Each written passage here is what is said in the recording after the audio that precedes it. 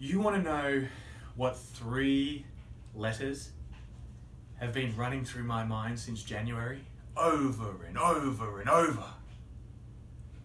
D, D, T.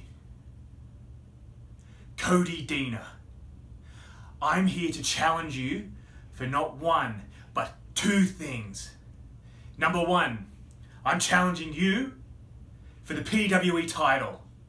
And number two, most importantly, I'm challenging you for your crown of the King of Oshawa. And if you aren't man enough, if you aren't brave enough to accept my challenge, somebody is going to get beaten up. And it's not my fault. It's no one's fault except for you, Mr. DDT.